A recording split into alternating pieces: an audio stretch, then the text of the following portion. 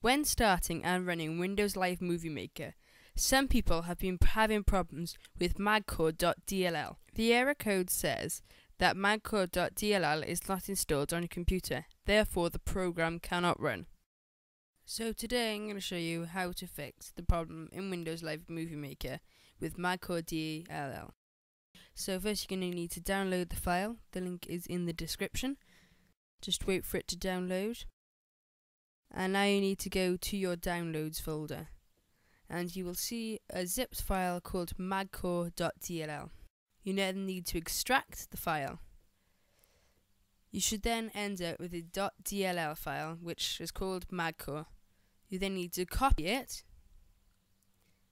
go into your Windows, Windows again, System 32, and then paste it in.